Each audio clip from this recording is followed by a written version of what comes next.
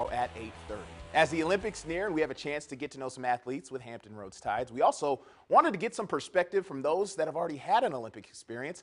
Look no further than ODU women's basketball head coach Delisha Milton Jones. She's a two-time gold medalist and herself and enjoyed a decorated professional career that spanned 17 years. A member of the 2000 and 2008 U.S. women's teams, Milton Jones competed alongside women's basketball giants like Lisa Leslie, Dawn Staley. Her 08 team was even coached by Monarch legend Anne Donovan. Now, outside of her Olympic gold, she won two world championships, two WNBA titles. Today, she shared with me part of her Olympic experience and some fond memories of hers leading up to the Games.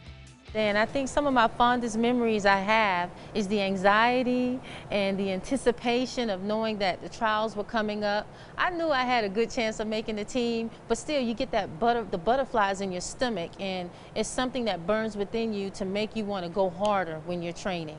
And you understand the sacrifices that you are making, it's going to be for something monumental when the end result comes. She has a great story. We're going to tell more of it later this week. Coming up next,